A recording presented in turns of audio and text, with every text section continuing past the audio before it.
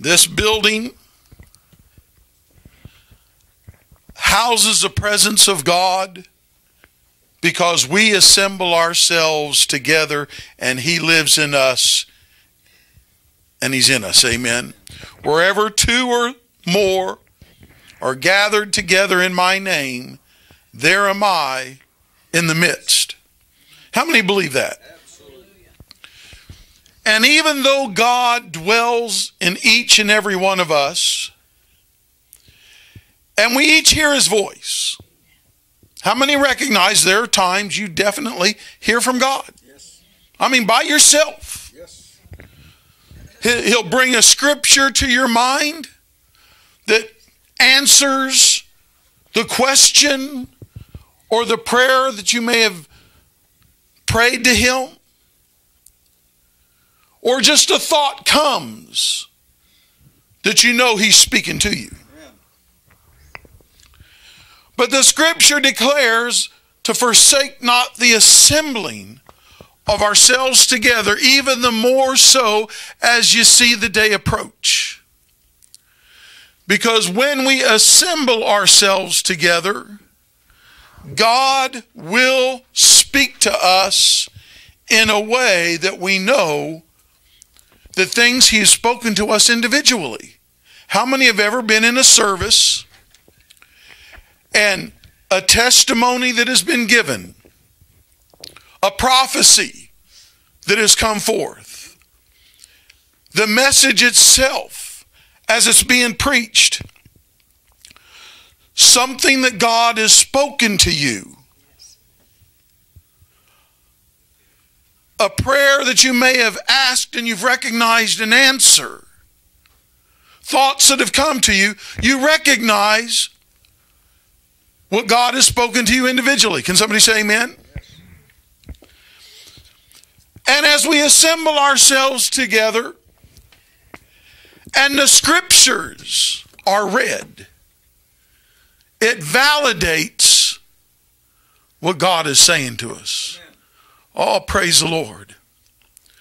So, even though each and every one of us, if we know the Lord and God lives inside of us, we're always in His presence when we assemble ourselves together, it reassures us of what God speaks to us individually. And we need that. Can somebody say amen? Oh, praise the Lord. I want to preach on the day a little bit this morning.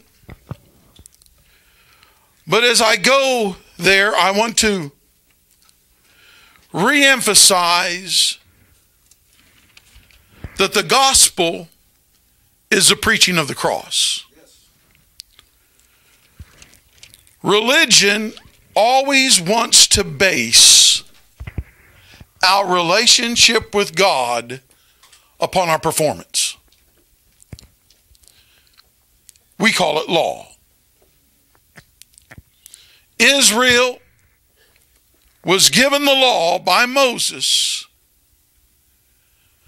to show them that on their own, by their own performance, they could never measure up to God's standards. If they could, there would have been no need for blood sacrifices. Amen. The blood sacrifices was given to show them they need to atone for their sins, for the areas in their life where they could not measure up. It was never given for them to keep because the law does not have the ability to make anyone right. Because nobody in their natural ability can do it. Had Adam not sinned in the garden and separated himself from God, there would have been no need for the law.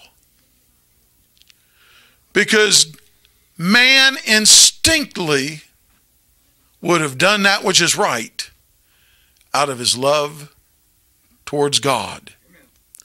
And the reason why man would love God is because he knows beyond a shadow of a doubt God loves him. What religion does is it gives us a picture of God that is based upon our performance. So we get to thinking when we're doing good, God loves us, but when we're not doing good, God don't. Amen? And that works great while we're doing good. But then something comes along and we mess up. And when we do,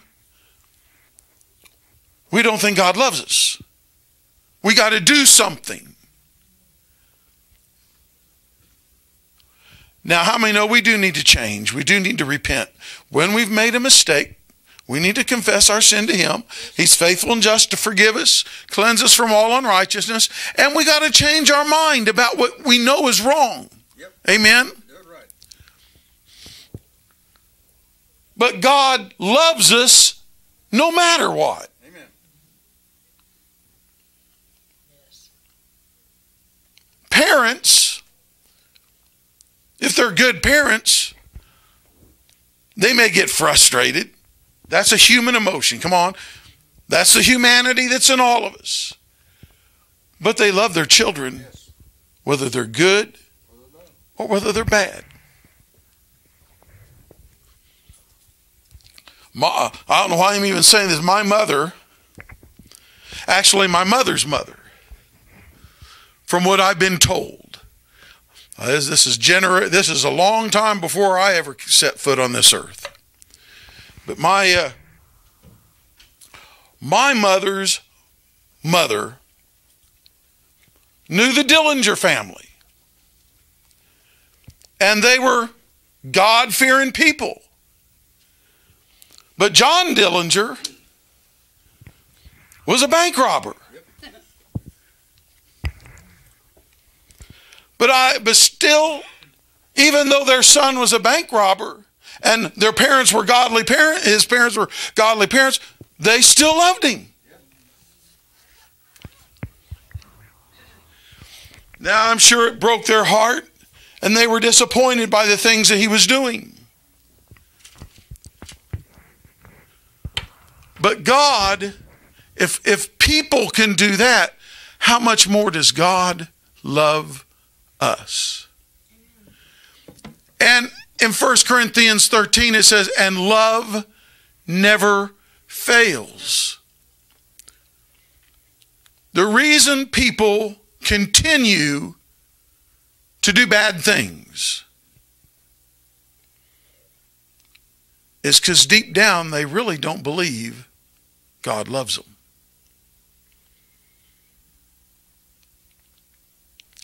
The extreme of that is they'll say they don't even believe in Him because they're trying to get God out of their mind. How many are hearing me? But down deep in the heart of man, whether he has heard the gospel or not, he knows there is something more. Yes. He knows there is something more. Other religions are trying all kinds of things to appease this God because they believe he's angry at them. Muslims are killing themselves to appease their God. Killing people. Doing extreme things. Because somewhere inside they believe they have to do something to make themselves worthy. When the truth of the matter is, there's nothing we can do to make ourselves worthy. God gave the law to show us His standards are higher than ours, that His way of living is higher than ours, and that by our own human ability, we can never achieve his standards. But his love is even greater. His love came down in the person of Jesus and paid the price. Oh, I know this is basic, basic, basic teaching. But you know what? It's so basic, most of the church can't get it. They have to have some kind of an angry God in order for them to try and do right. And it never works. Oh, they can put on a religious face Sunday morning. How many know we have all been good at that? Oh, put on, you know, put on our nice face and look like we're just having no problems at all. like the time, I know I've told this story hundreds of times, like the time I went to church and boy, I'll tell you what, I was a worshiper. You could hear my voice above everyone else's. Still can sometimes. And old Bill Britton got up to preach and he said, You know, there are some people, you look at their lives when they come to church and you think they don't have a problem in the world. Why, you can hear their voice above everyone else's voice when, when they're praising the Lord. And would you know, before church, they got into a knockdown, drag out fight with their wife. that particular Sunday morning, we had. oh, praise the Lord. But God still loves us. Oh, praise the Lord. God still loves us. The law the ritual all ended when Jesus said, It is finished. That old covenant was brought to an end. And a new covenant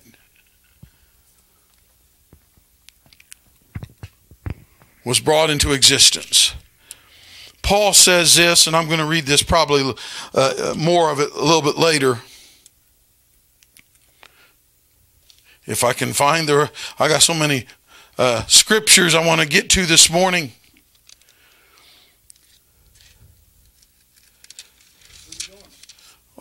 I'll, I'll just have to. Find, I'll find it.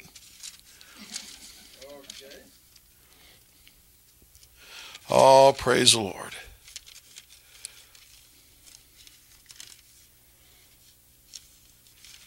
It's in Galatians. And it's one of these places I've got marked, but I've got hundreds of places here marked. it's almost hard to find where I'm wanting to go because I got so many places already marked that I don't know what I'm.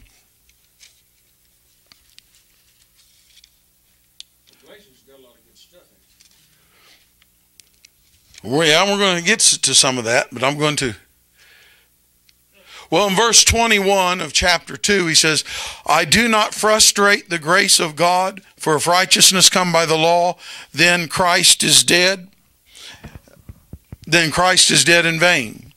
But that's not the one I want. I want where he says he glories in the cross.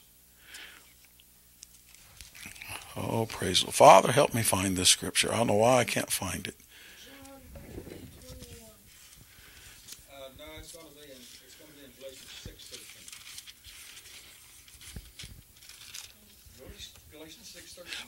Well, I am. Gotta turn the pages. oh, praise the Lord.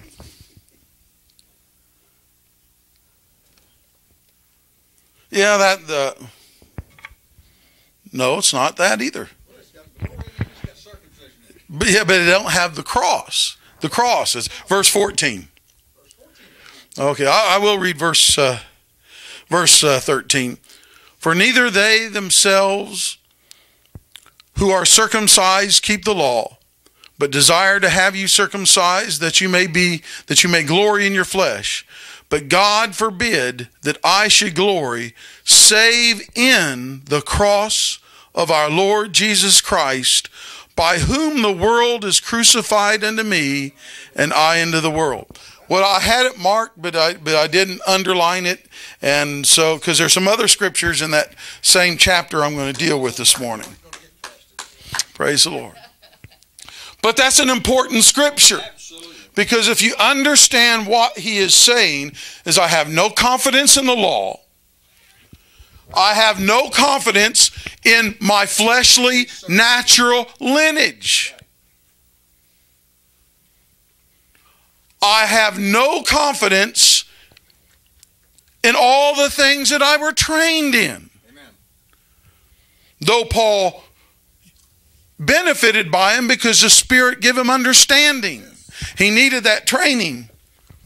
But his confidence was not in anything of the old religious order. His confidence was only in one thing. This was the center of his gospel, and that is the cross of Jesus Christ. What he did on the cross is our whole basis for our relationship with God. And it's true whether we believe it or we don't believe it, but we'll never enter into it until we believe it. Can somebody say amen? As long as in your mind God is mad at you, as long as you got to prove yourself to God, as long as you're dependent on any kind of your own performance, you're not really believing the gospel. You can be completely out there in the world and in darkness completely, or you can be religious and know that Jesus is your Savior, but still be basing your relationship with God upon your performance. When Paul said, I'll glory only in, only in the cross of Jesus Christ. What is the cross? It's not the wood that he died upon. The cross is he who was without sin became sin and died fulfilling the law. The soul that sinneth, it shall die. He died. When he died, our sins were completely paid for. Every single sin that we ever did or will do, it was paid for. What about blasphemy of the Holy Ghost? Isn't that the unforgivable forgivable sin? No. He says, King James says, says that uh, whosoever blasphemeth the Holy Ghost hath no forgiveness in this age or the age to come. The word there is never. But when you look it up in the Greek, it's aeon.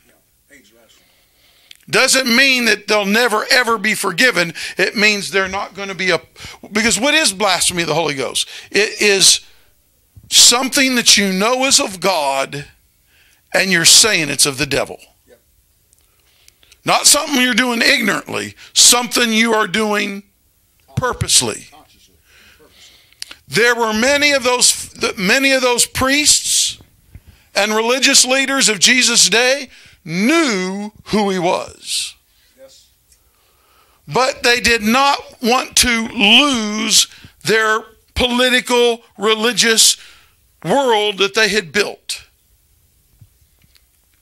And so rather than to lose the people to follow after Jesus and having their world crumble, they purposely they purposely said that what he was doing was of the devil. Yep. That's what they said. So you cast out devils by the power of Beelzebub.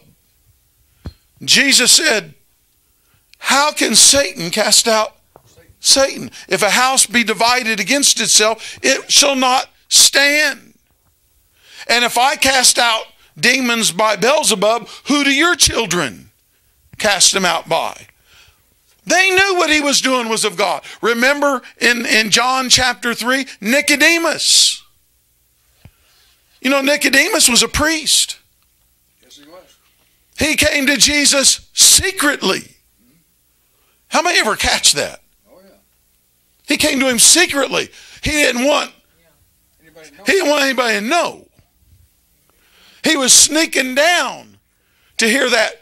He was sneaking down to get among some of them kingdom people to hear that message.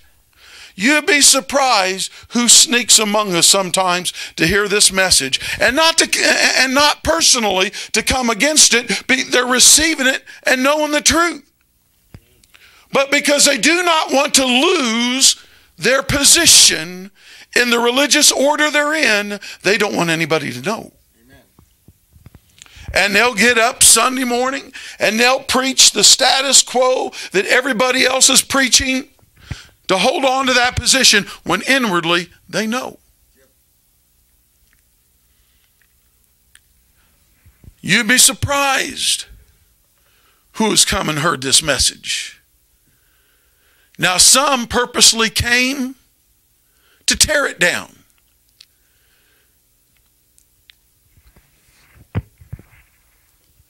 How many ever heard of? Uh, I, I, I might not pronounce his name not right. Uh, I think it's uh, Dave Wilkerson, Cross and the Switchblade. I mean, real famous preacher, did a lot of good things. Well, he snuck among us. He became a friend to Kelly Varner. He met Bill Britton. He began to. Uh, he began to, you know, hear hear the. Uh, he began to hear the message, but when he but he knew it was not popular. So publicly, he then came against us, said we were all New Age. And uh, I'll tell you what, it's a dangerous thing to do that. But now, and that would, if he, unless he really believes we are all of the devil, if he really knew that what we're saying was was God, that's borderline Holy Spirit. The Holy Spirit. Now, does that mean he, he'd be lost? No. What it means, he loses out on being a. Part of it. How many hear me? He's losing out on being a part of it because he knew what was of God was of God, but he said it wasn't of God. Now I don't know that he did that. Uh, how, I want you to hear. How many hear me in bounds? He could have. He he might actually believe we are the enemy, and he's exposing the enemy to the Christian world. But there are those around that I personally know. They come around us. They hear the message. They can preach the message. They've got it so much in them. But they go back to their denominations and they preach the same old junk. Same stuff. They're chameleons. We talked about one of these preachers just the other day. You Whatever environment, love the guy, but whatever environment they're a part of, they blend right in. you come in and preach kingdom, you go right back and preach the But I'll glory not except for in the cross of Jesus Christ. On the cross, my sins were paid for. Whether I'm good, whether I'm bad, God loves me. My sins were paid for by his blood. Now, when I believe that and know that he loves me, I start loving Him. I start loving Him. Jesus said in John chapter 14, verse 15, If you love me, you'll be keeping my commandments. It's a natural course. Something's going to happen with your desires. There's a new influence that comes in. You're not going to be doing the same old things you were doing before. And it's not because somebody's beating you over the head and telling you you need to quit doing this and do this. You're you're going to know what you need to quit. Yes. Now I'm going to I'll still preach on what sin is. Amen. I mean, I'll preach on what's wrong and I'll preach on what's right, but I can't enforce you to do what's right. That's the job of the Holy Ghost. All I can do is tell you. But what I'm also going to tell you is, irregardless, God still loves you. And He'll never leave you nor forsake you. And He's going to keep influencing you till you do right. The power of God is in the cross. On the cross, not only did I receive forgiveness, not only were my sins paid for, on the cross, the old person that I was, the old man, was crucified with him. Absolutely. I am not the same old person that I once was. It is possible because of the flesh that I live in. It is possible if I'm in the right situation, I can be tempted to lie. And in that situation, there may be a time I give into that. But in my heart, I can't live that way. How many know what I'm talking about? You know, before I came to know the Lord, hey, if it got me out of trouble, great. But that's not who I am now because something inside of me just can't be that way because I want to be honest. Oh, praise the Lord.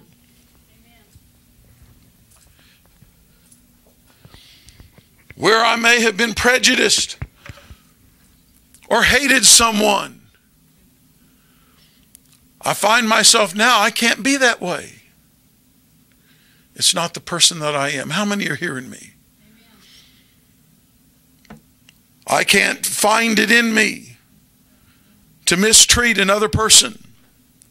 Uh, that doesn't mean that in the flesh is not that ability to do so. But if I do, I'm not comfortable with that. How many know what I'm talking about? So you know what happens? I change. I change. Where I used to be comfortable doing things that I knew was wrong, I'm not comfortable anymore. Because it's not in my nature. I am a new creature. On the cross, one died for all. Therefore, Paul says, all are dead. Those of us that believe that start experiencing it. We do become a completely different person than what we were before. The law couldn't do that. Love and grace is the only thing that can accomplish that. The cross paid for our sin. Aren't you glad? With all that said, I want to begin this morning's message. Turn with me, if you will, to 1 Thessalonians chapter 5.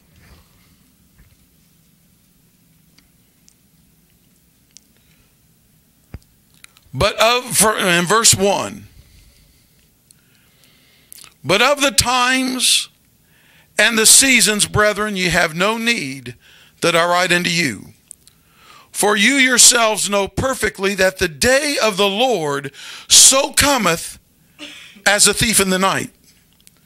Remember that scripture, that's important. For when they shall say peace and safety, then sudden destruction cometh upon them, as travail upon a woman with child, and they shall not escape.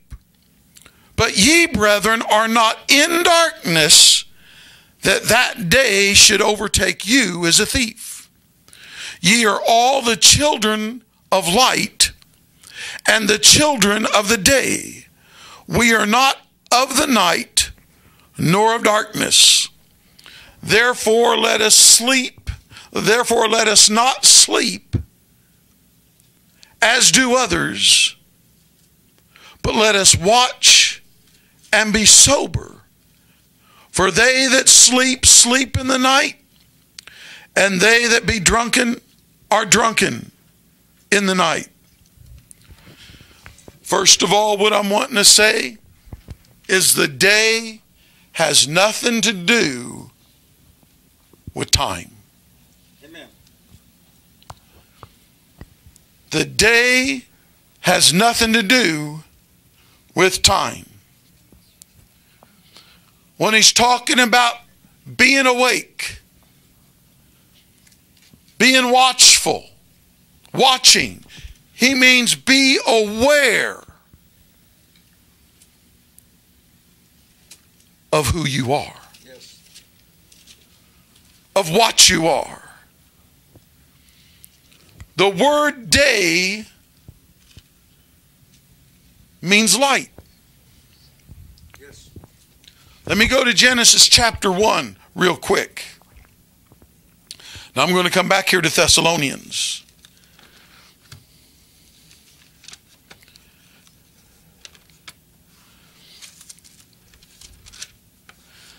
Genesis chapter 1. Verse 3. And God said, Let there be light, and there was light. And God saw the light that it was good, and God divided the light from the darkness, and God called the light day. What is day? Light. He called the light day. And darkness he called night. The evening and the morning were the first day. Now, I'm not getting into the days of creation. I want to get into one basic concept, and that is day means light. Light means knowledge and understanding. Amen? That makes it practical. Do you know there are hundreds of Christians that really don't know what walking in the light really means? Light means knowledge.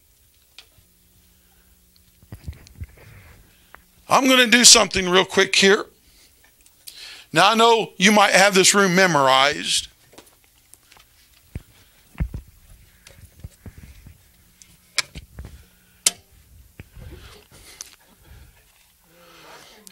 Uh, what's up front in the uh, southwest, uh, or no, that'd be the yeah the southwest corner.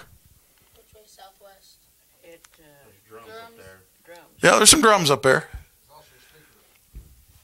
But if you were just if you if you just came in here, you wouldn't know where the chairs are. You wouldn't know where anything is. You're in darkness. You're in ignorance. You could walk and trip right over a chair. You have no knowledge. Now you know where everything is.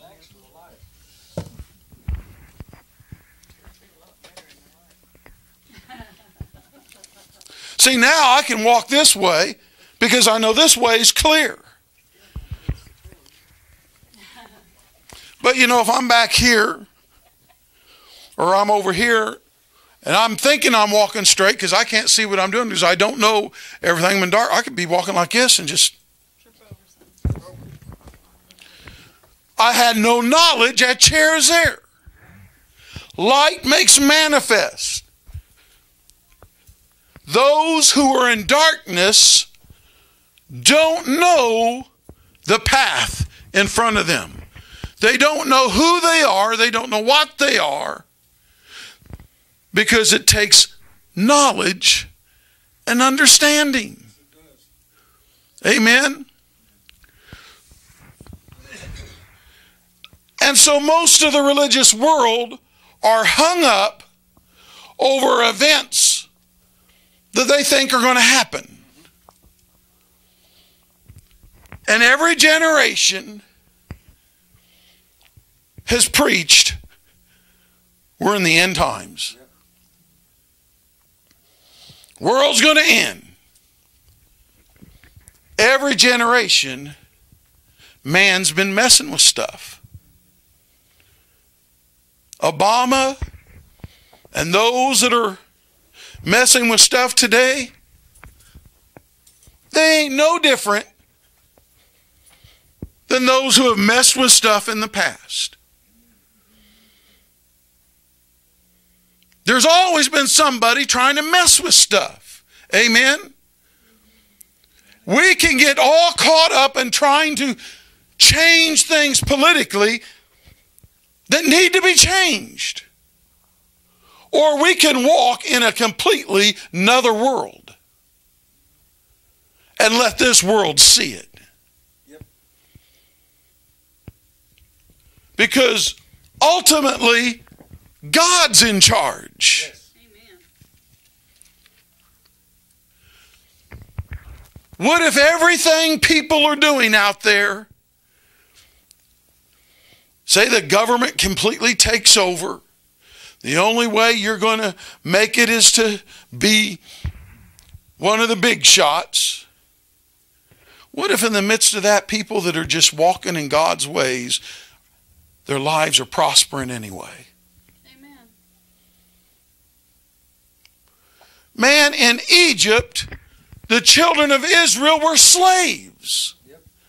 Well, what is it that the elite of today are wanting to do? The globalists, those that are uh, wanting to uh, take over our country and create socialism and all these. Well, they're just wanting to enslave, take away our freedoms, and make us slaves. Well, the children of Israel were slaves in Egypt. But guess what? When there was darkness in Egypt, there was light in the land of Goshen. When the, when the Egyptians were plagued, the Israelites weren't. Amen.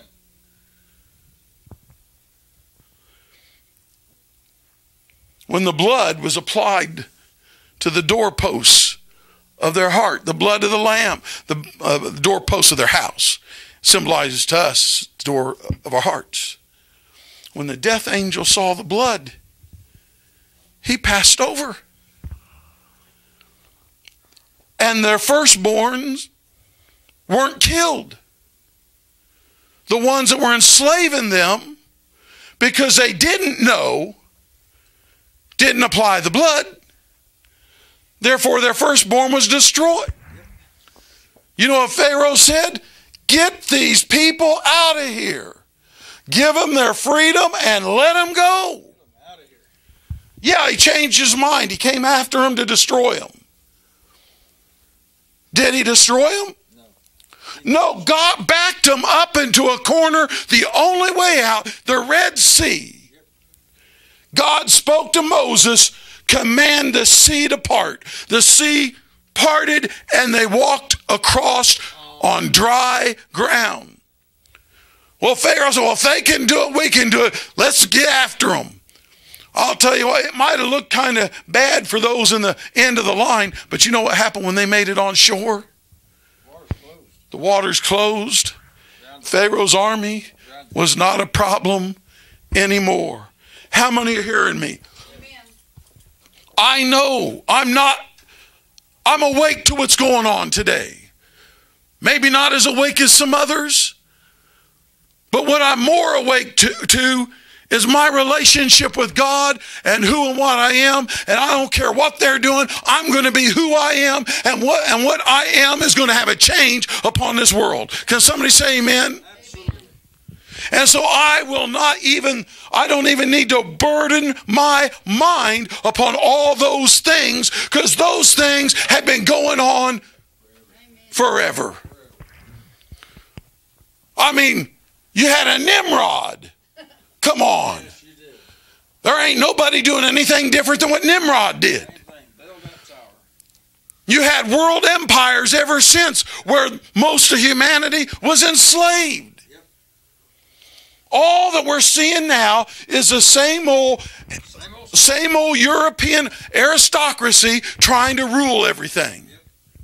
Just like they did in the feudal system. Little more uh, what can I say, sophisticated. But it's the same thing. But that has nothing to do with those whose trust is in God. Well, what if we find ourselves in a concentration camp? Joseph found himself in prison. And you know what? He prospered in prison. He was actually free in prison. And finally, it was noticed. It may have took a long time. You know, God don't do things the way we think they ought to be done. We want them done right now. Instant generation. There's people don't like to take the time for their coffee to be brewed. They want instant coffee. I don't care uh, I mean, that, whether you have instant coffee or not. I'm just talking about we're an instant generation. Pop it in the microwave. Go down to McDonald's and get poisoned. Oh, praise the Lord. And it's fast. We get it right now. Except for we got to stand in all the lines. oh, praise the Lord. And God doesn't work that way. He's not in a hurry. And you know, you just might find out when we get out of that hurry mentality, we just might start putting on immortality.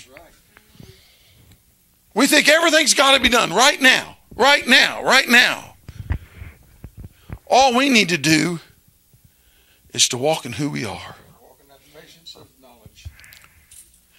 What we need to be preaching is grace and love and the cross.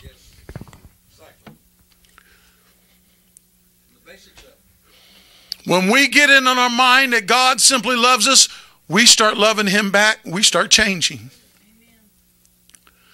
We give other people that same opportunity. That's freedom. Well, didn't the scripture say, Ye shall know the truth, and the truth shall make you free? No, something in man wants to be in bondage. Take all our guns away from us. We'll be safe then. No. I guarantee you, those that want to find a gun will find one. Amen. Those that are doing crimes don't have their guns legally, they have them illegally. Take all the guns away and get rid of them. They'll find some other way. Amen. The problem isn't the gun, the problem's in the heart. Amen. Now, there's a lot of people that own guns, like to shoot them, like to have target practice. Some don't even like to hunt. They, only, they won't even kill an animal. They just like to shoot at a target. Then there are those that like to hunt.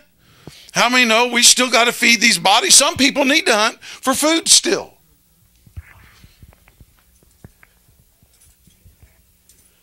And they would never think of using their gun on a human being.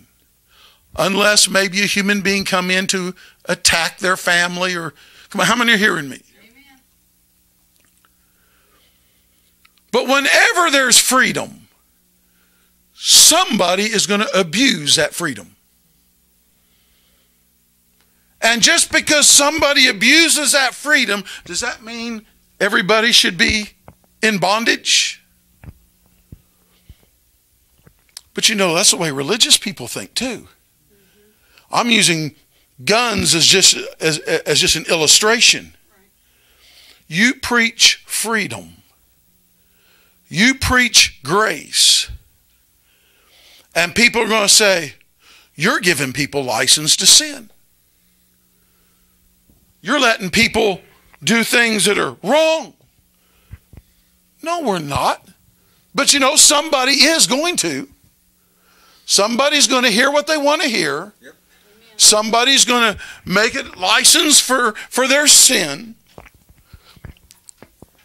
And so they're going to say, you just can't, you got to have some law. But law frustrates the grace of God. Grace can't accomplish its purpose if we believe something that's not true. And to believe God at any time doesn't love us is not true. Oh, praise the Lord. Light is knowledge and understanding that that old order of law, that old order of religion that tries to force you to do what's right by human ability is gone. It ended at Calvary's cross. The cross itself is what brought salvation. It is understanding what the cross does that causes us to change. Learning to know who and what we now are. How many know that in, in, in Ephesians chapter 1, 13, and I'm just.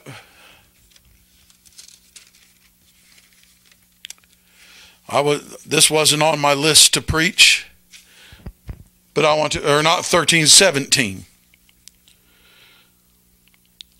Says that God, that the God of our Lord Jesus Christ, the Father of glory, may give unto you the spirit of wisdom and revelation in the knowledge of Him. The eyes of your understanding being what? Enlightened. You know what that word enlightened means? It means you see the light. What's seeing the light mean? It means you have knowledge. You have understanding. He's opened up the eyes of your understanding. Well, if he's opened up the eyes of your understanding and you have been enlightened, you have knowledge, you have understanding, then what are you walking in? The day. You are children of the day and not not children of the night. Oh, praise the Lord. Aren't you glad? Yes. With all that said, I want to go to Matthew chapter 21, I believe it is.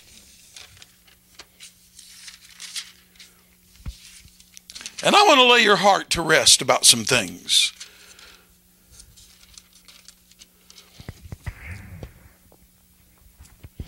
Now, how many have ever heard that, that Matthew 24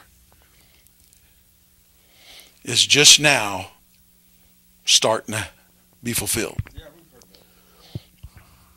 And so we're looking for wars and rumors of wars. Guess what? There's always been wars and rumors of wars. We're looking for earthquakes. I got news for you. We've always had earthquakes. We're looking for kingdom rising up against kingdom. We've always had kingdom rising up against kingdom. We're looking for those of us on the rooftop better not run down and get that doesn't even make sense today because we don't live in those type of houses in ancient jerusalem their houses their entrance was on top you went upstairs to their rooftop their rooftop was their porch how many have ever seen uh, Indiana Jones? Uh, what was the first one? The Raiders of the Lost Ark. Where were they sitting at? On the rooftop. That's the way they're the, the, the, they live back. And, and yeah, the, over there in that area, they they still live in houses like that. But most of the world don't.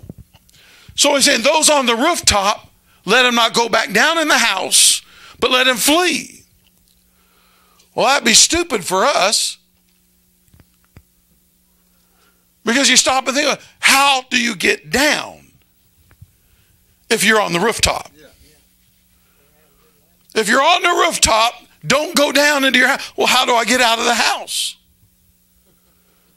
Well, the entrance to their houses was on the roof. They went down their stairs. Oh, and pray that your flight be not in the winter. Though, and pray that your flight be not when you're with child. Do you know all these things that Jesus was talking about there in Matthew 24 was fulfilled in 70 AD? All of it. We'll get into that in a in a moment. I really ain't preaching on Matthew 24, but I want to say some things. All the fear monger preaching that is being done today is getting us sidetracked from the truth. That's what it's. That's what the enemy wants, wants to do. Get you sidetracked. Everybody's worried about end times. And, and when they read the book of Revelation, they don't even get what it's talking about because there's it's the revelation of Jesus Christ. Not when the Antichrist is going to come. The mark of the beast, what is it? Whoa. It's your social security number. They're going to tattoo it in your head and upon your arm and, and and you'll go through a scanner just like your foods are being going through a scanner right now. They don't understand bible symbology because they've never been taught it. They read it with a natural mind. they read it with a natural mind. There's this computer in brussels. That was actually a generation ago they preached that. I think we've now scanning system, uh, all kinds of things. And, and, and people are paying attention to all these things and missing the most important part the knowledge of who they are now in Christ and being aware of his presence where he is. We're so busy one day wanting to die and go to heaven or be caught up in a rapture that one day we might actually meet Jesus. And Jesus is inside saying, When you going to wake up? You're going to wake up I'm, I'm here. I'm here. Why don't you have a relation with me now. now? I'm what heaven is. I'm not a man anymore. I'm God. Can you imagine standing in line waiting to spend some time with Jesus? There's billions of us. We're talking about from the beginning To the end. Let alone just the amount of people that are here right now. Well, only a portion of us is going to be saved. Well, okay, I'll, I'll, I'll grant you that. Well, then there's at least a million or two of us. No, it's over 2 billion. Over 2 billion. We're talking about uh, believers now. There's at least a million or two believers out of the billions of humanity that are here, wouldn't you say? And it takes all day at a theme park to get on our favorite ride because there's hundreds of people in front of us. Well, maybe I won't be in the last part of the line. Well, I hope I don't go by alphabetical order. Wallace, My last name is Wallace.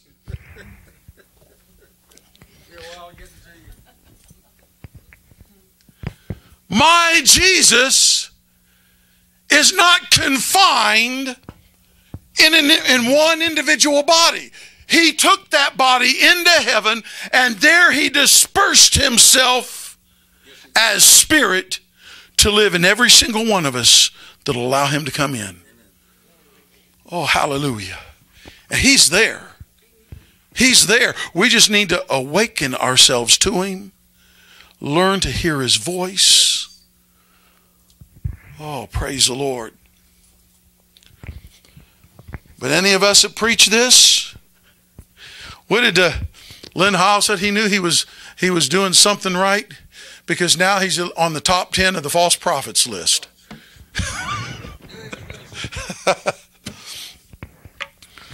because we want hype.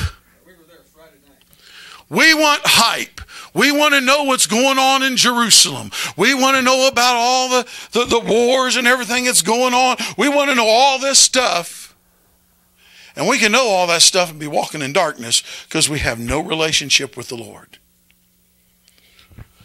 And consequently, when you get so far into that kind of thinking and you see how hopeless it, it appears to be, then the only thing you can do is hope to get out of here. God didn't put us here to get out of here. He put us here to make our mark, to change the world around us. God so loved the world that he gave his only begotten Son. Oh, praise the Lord. Well, let me get into Matthew chapter 21 and verse 42. I want to start reading. Remember, he said, The day of the Lord cometh as a thief in the night. The day of the Lord cometh as a thief in the night. He also said, But you are not children of the night, but ye are children of the day, that that day should not overtake you as a thief. What does a thief do? He comes in and takes things away from you. Amen? There was a time we were out of town. While we were gone, a thief broke into our house and took some things that belonged to us. A thief comes to steal, to take away. Wow, take away. Paul writes that the day of the Lord is as a thief in the night. He comes while you're in darkness. He comes while you're ignorant, when you don't know the truth. Amen? Okay, Matthew chapter 21, starting in verse 2.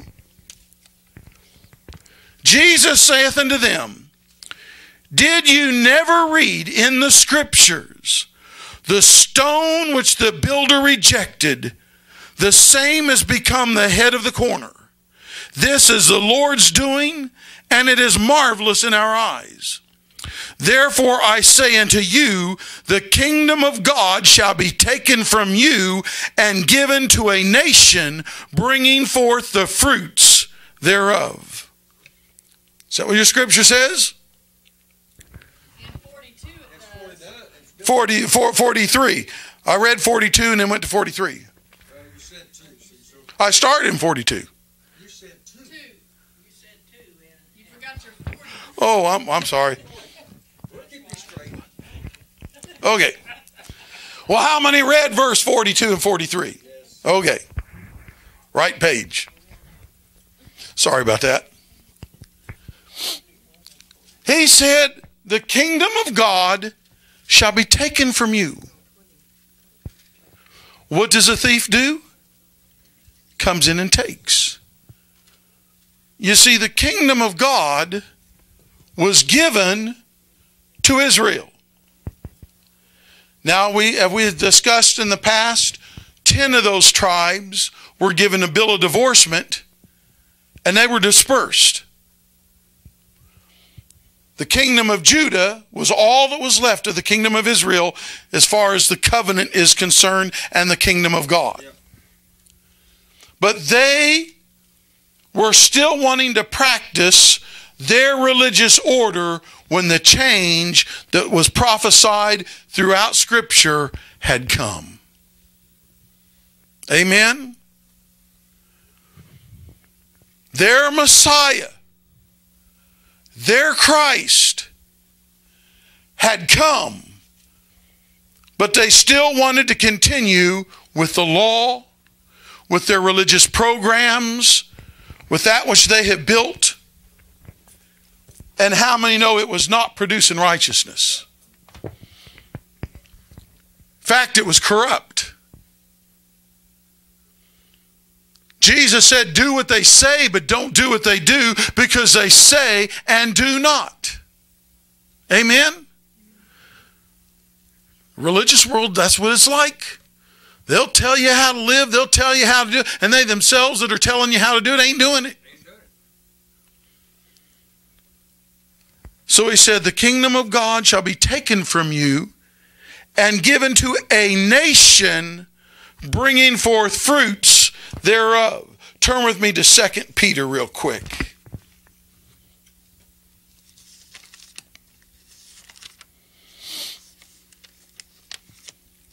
Actually, 1 Peter chapter 2, verse 9. I'm going to start in verse 8 because he's talking about the same thing Jesus was talking about there in Matthew 21. Actually, go to verse 7. Oh, good grief. I could go up to verse 6. Verse 6 Wherefore also it is contained in the scripture Behold, I lay in Zion a chief cornerstone, elect, precious. He that, is, that believeth on him shall not be confounded. Unto you, therefore, which believe.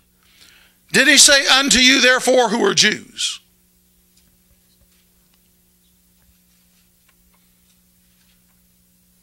Chief cornerstone, precious, go ahead. Now, I want you to be with me here this morning. He didn't say, You who are Jews.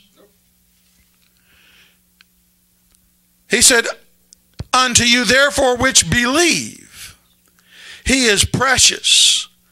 And unto them which be disobedient, the stone which the builders dis- disallowed, the same is made the head of the corner. Now, I want to stop here.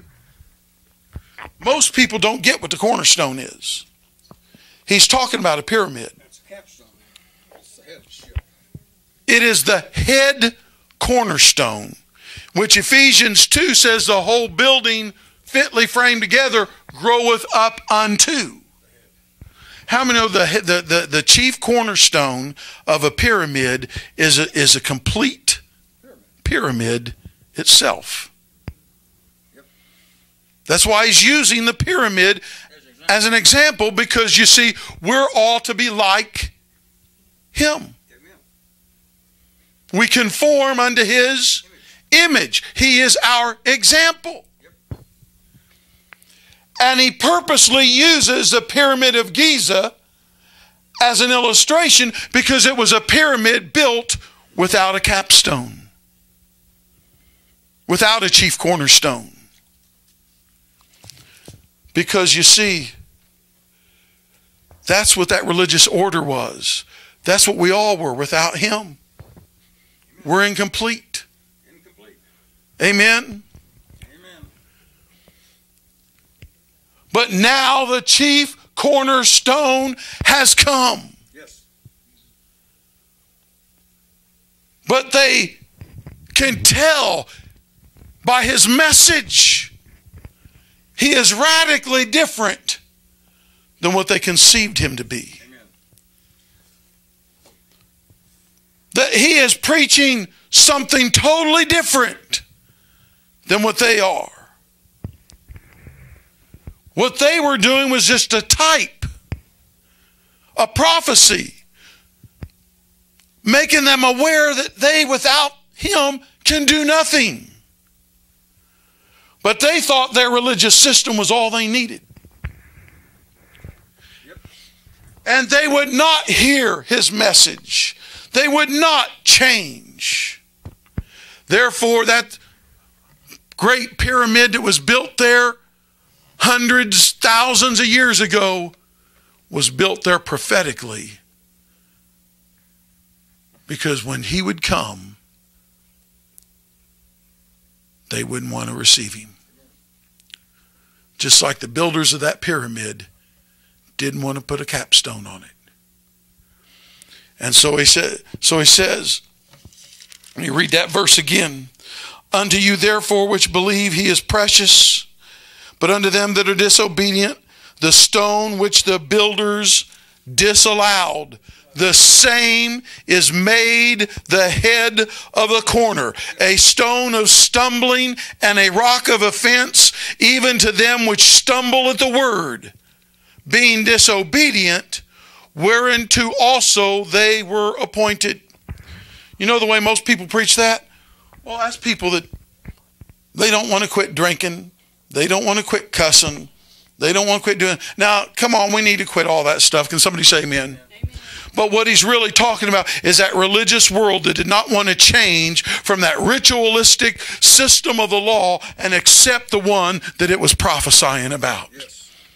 They wanted to hold on to their old order and they were disobedient. They stumbled at the word. Still doing it today.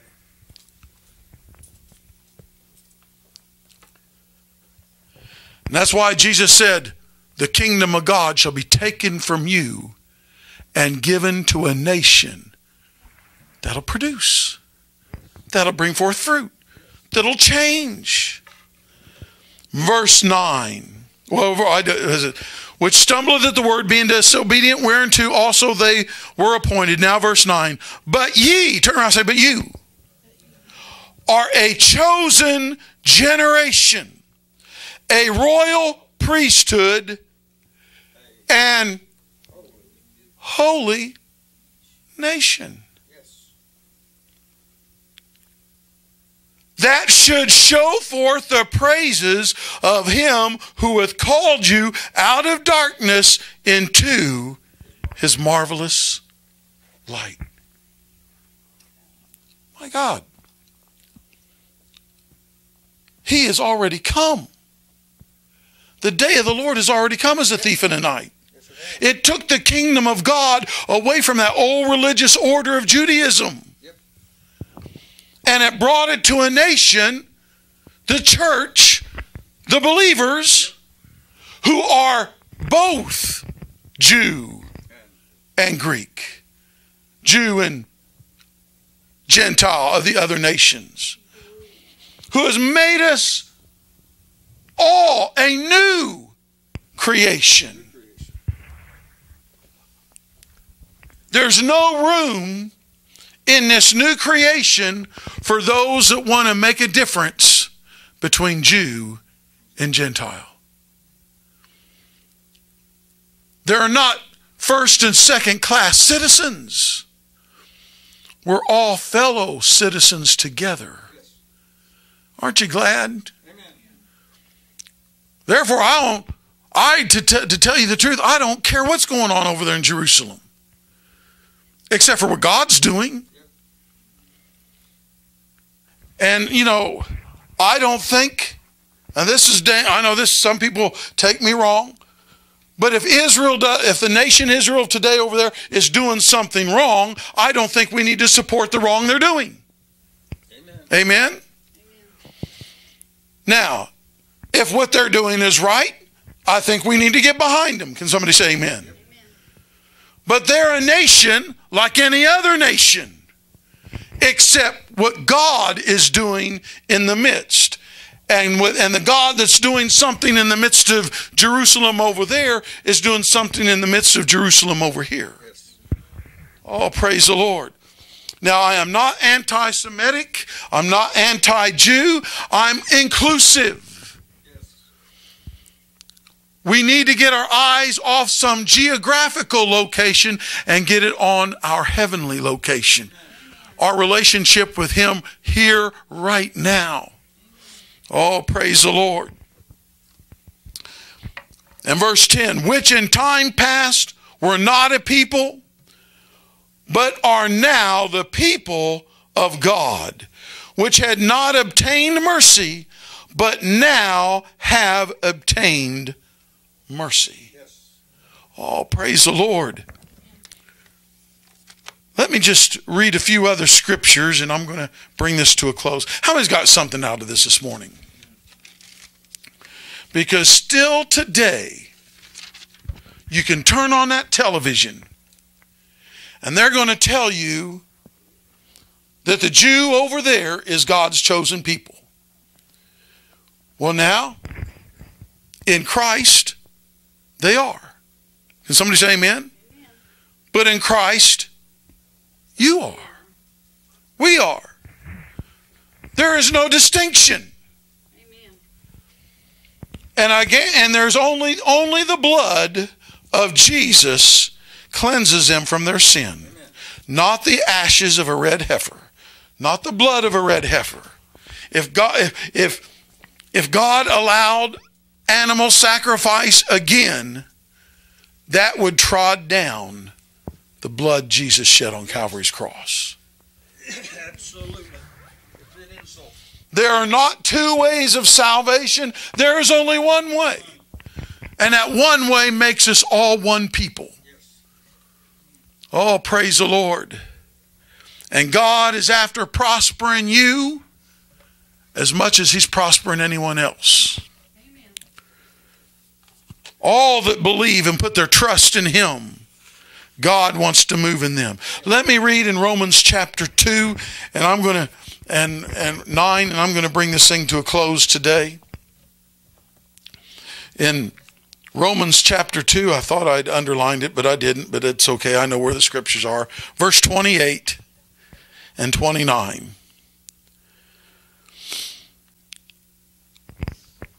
For he is not a Jew, which is one outwardly, neither is that circumcision which is outward in the flesh. Do you know the Jew of that day, as well as the Jew of today, their total trust is in their lineage and in the circumcision? Now, medically, how many know s- most mo- most male children when they're born are circumcised? But in that day, it was a religious.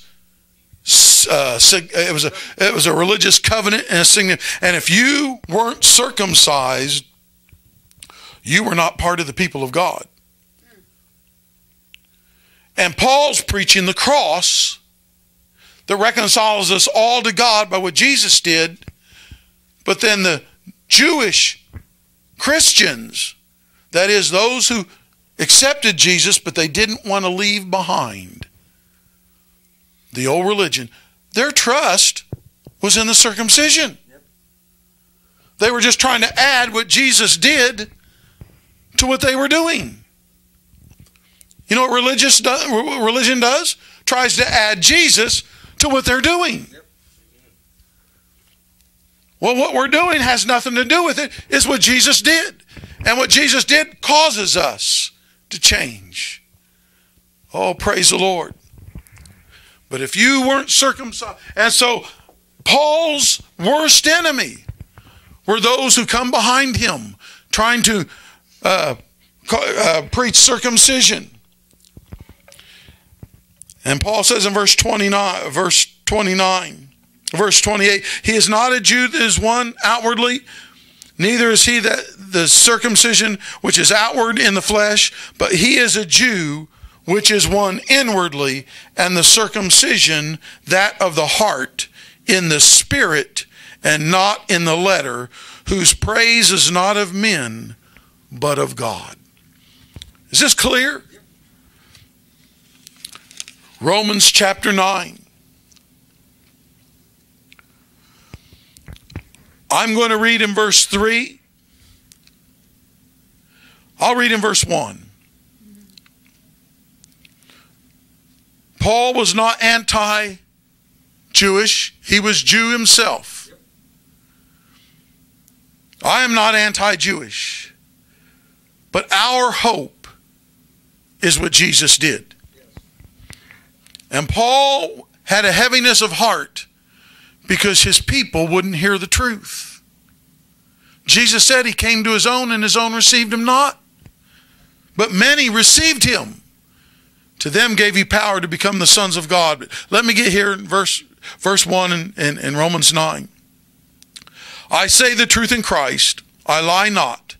My conscience also bearing me witness in the Holy Ghost, that I have great heaviness and continual sorrow in my heart, for I could wish that I myself were accursed from Christ for my brethren, my kinsmen, according to the flesh, who are Israelites, to whom pertaineth the adoption, and the glory, and the covenants, and the giving of the law, and the service of God, and the promises, whose are the fathers, and of whom is concerning the flesh Christ came, who is over all, God blessed forever.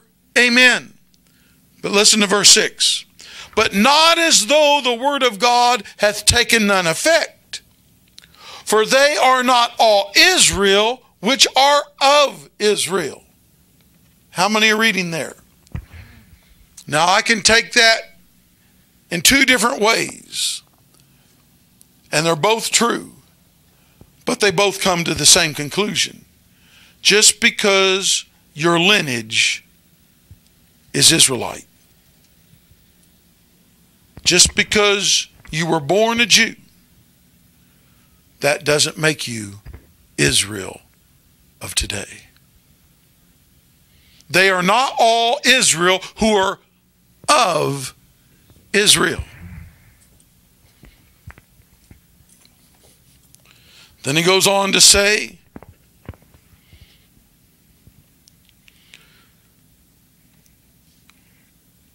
Neither because they are the seed of Abraham are they all children, but in Isaac shall thy seed be called.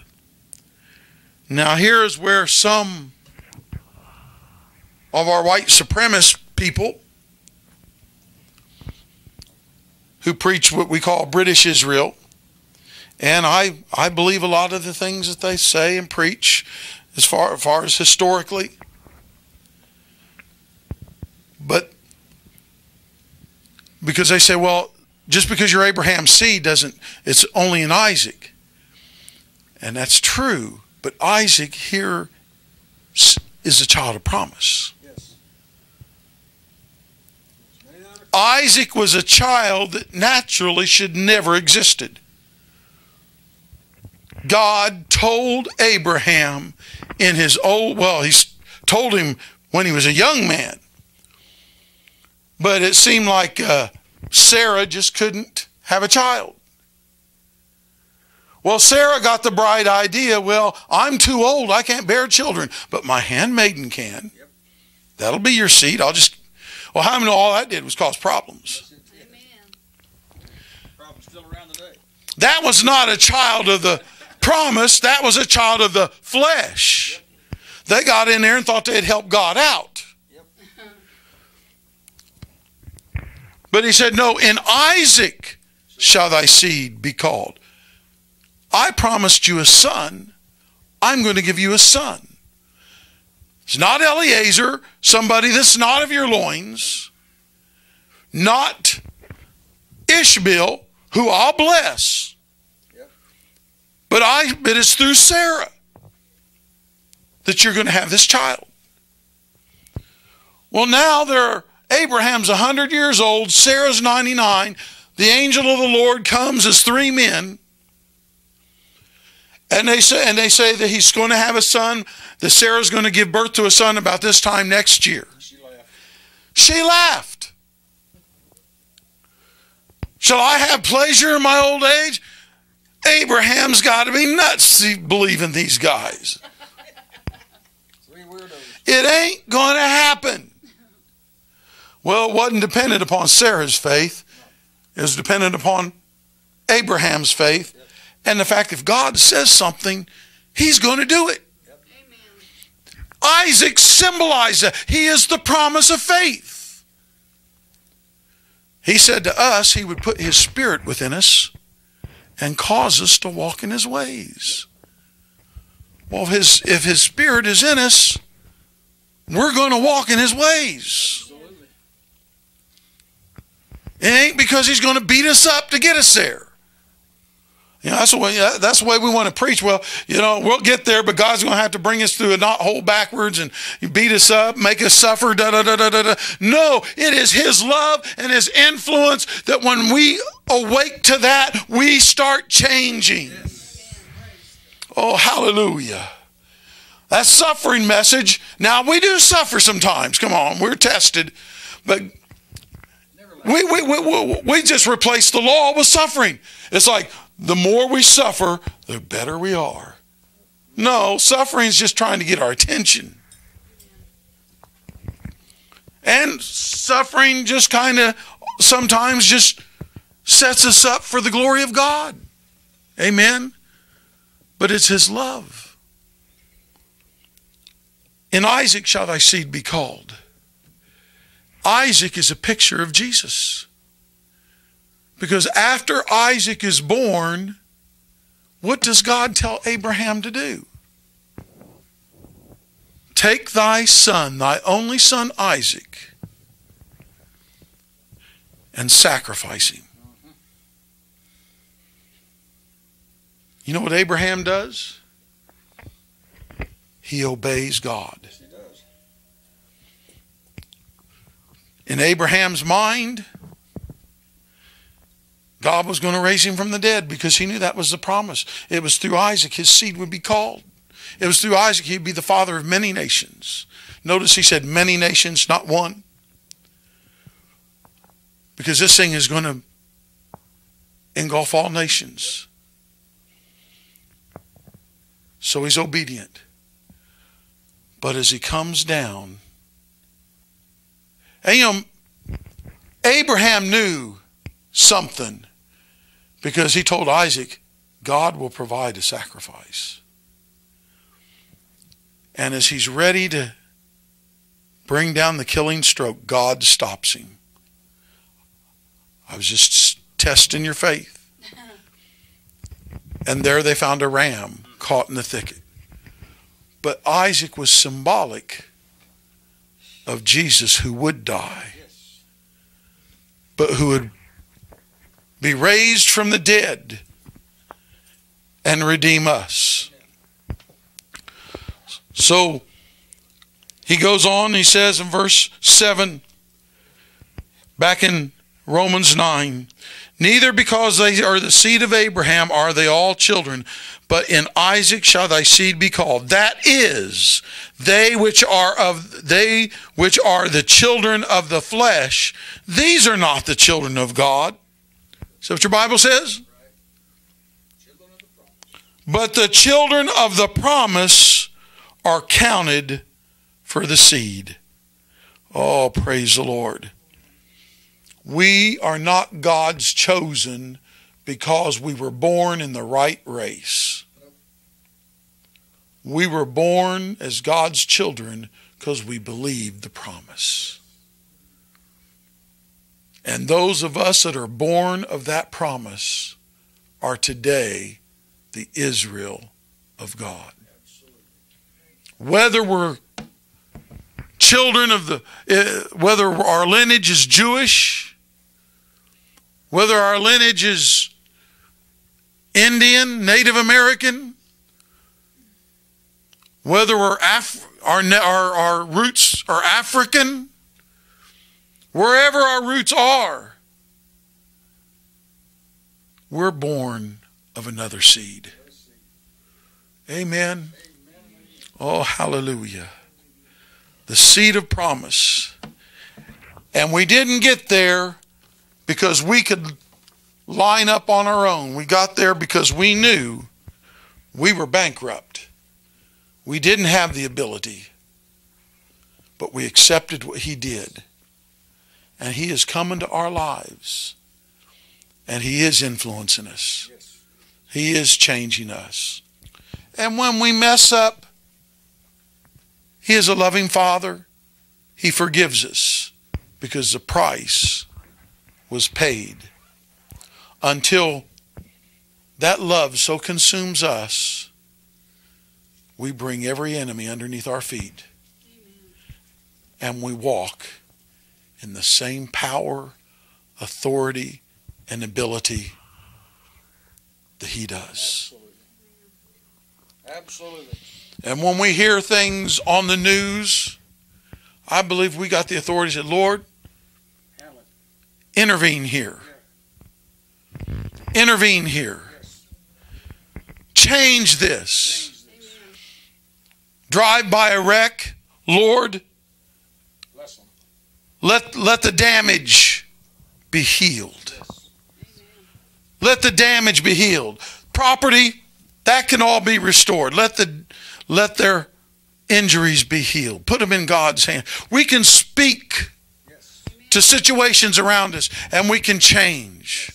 I remember walking into QuikTrip and a girl that, that was that worked uh, uh, on the, the fuel desk on the truck side uh, was sick one day and I, I can't remember what it was and I just I, I didn't really pray I just said well that's got to go Yep. and that's all I said she knew I was a preacher I come back later that day and she's all excited. You know what? After you said that, I was well. It's gone. I'm doing. I'm feeling great.